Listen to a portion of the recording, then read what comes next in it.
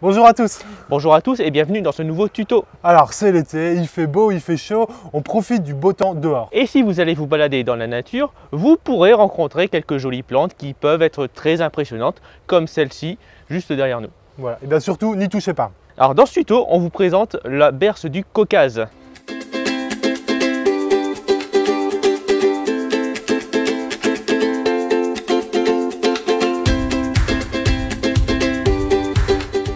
Plante invasive est donc une plante introduite par l'homme, euh, volontairement ou involontairement, et en dehors de sa zone de répartition naturelle, et qui a su se naturaliser, c'est-à-dire survivre et se reproduire dans son nouvel environnement.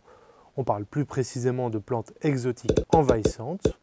Toutes les plantes exotiques ne sont pas envahissantes, mais certaines se reproduisent avec une telle facilité qu'elles vont venir prendre la place de certaines espèces locales. On parle alors de plantes invasives.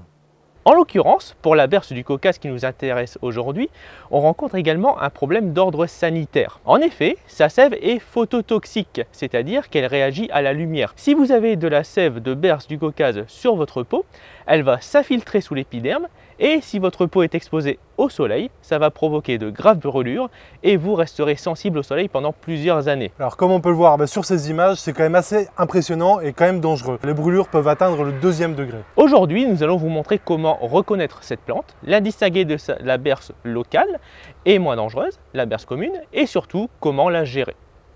C'est parti. La berce est une plante qu'on peut reconnaître facilement lorsqu'elle est en fleurs, eh comme ici. Euh, on peut y voir les grandes ombelles avec les fleurs blanches.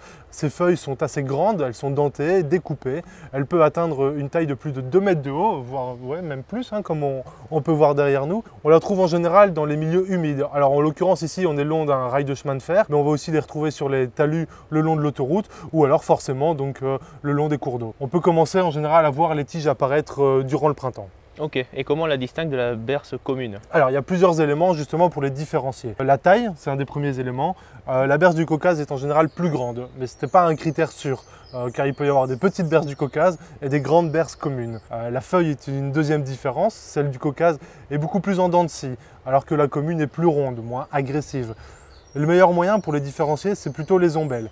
Lorsqu'elles sont en fleurs, les ombelles du Caucase vont compter jusqu'à 50 rayons, tandis que celles de la commune, en général, il y en a moins d'une trentaine. Enfin, si les fleurs ne sont pas encore sorties, euh, pour une identification précoce, on peut regarder la tige. Celle de la berce commune est soit totalement verte, soit totalement rouge, alors que la berce du Caucase présentera des tachetures rouges en taches de vin et des petits poils aussi. C'est vraiment un des meilleurs critères pour les différencier. Alors on précise également que la berce commune, comme d'autres plantes sauvages, peut être aussi photosensibilisante, mais dans une bien moindre mesure. Alors si vous avez la peau sensible, évitez de les débroussailler en short en plein soleil. Alors maintenant qu'on sait les différencier, on va vous montrer comment se débarrasser de cette plante, correctement surtout. Et pour ça, bah, il faut s'équiper. Hmm. Alors d'abord, il faut une combinaison. Des gants et un casque. Alors c'est essentiel pour vous protéger contre la sève. Ensuite, c'est simplement avec une bêche qu'il faut aller couper sous le collet à 15-20 cm de profondeur afin de retirer un maximum la carotte racinaire de la plante comme ici. Ça va, pas trop chaud? Si, avec le soleil on a vite chaud là-dedans. Alors il faut faire attention aux mauvais réflexes du style essuyer son front avec la main ou l'avant-bras. Il faut aussi faire attention quand on enlève la combinaison on va éviter de se mettre de la sève sur la peau.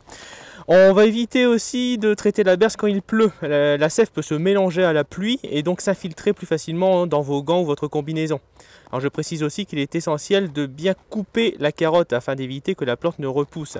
Si vous ne faites que la faucher, la berce elle fera des repousses. Il faut donc dans tous les cas assurer un suivi de la plante et réintervenir si on voit une repousse. Oui, parce que la, berce du Caucase, on précise, euh, la gestion va prendre vraiment plusieurs années. Hein. Euh, chaque plant va produire jusqu'à 20 000 graines, donc c'est vraiment énorme. Et chaque graine euh, peut, peut, germer jusqu'à 7 ans après sa mise en terre. Donc voilà, quand on commence un chantier de berce du Caucase, on sait qu'on en aura au moins pour 7 ans minimum. Il est donc essentiel de revenir voir chaque année, courant des mois de mai-juin, les foyers que vous avez traités. Alors, si vous trouvez des foyers de berce du Caucase en Wallonie, vous pouvez faire remonter l'information sur le site observation.be ou auprès de votre contrat rivière. Que ce soit sur le terrain public ou privé, ces informations en tout cas nous permettent à nous d'en savoir plus sur l'état des populations et d'organiser les chantiers de lutte dans le cadre du plan berce de la région wallonne. Alors pour la France, il n'exi- il n'existe pas de plan BERS. Cependant, si vous êtes dans le Nord, vous pouvez donner l'information au Conservatoire national botanique de Bayeul qui recense toutes les plantes invasives. Voilà, alors si vous avez encore des questions, bah, comme d'habitude, n'hésitez surtout pas à les poser en commentaire, on y répondra. Euh, on met également en description, comme d'habitude également, toute une série de liens euh, vers des sites et de la documentation à propos de cette plante qui, on le rappelle, est quand même assez dangereuse.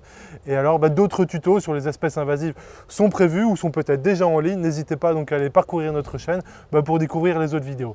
Et vous pouvez bien sûr bah, vous abonner pour être tenu au courant et mettre un petit pouce bleu bah, pour nous soutenir tout simplement. Et n'hésitez pas à partager cette vidéo car cette plante présente un réel danger et l'information et la sensibilisation sont essentielles. À bientôt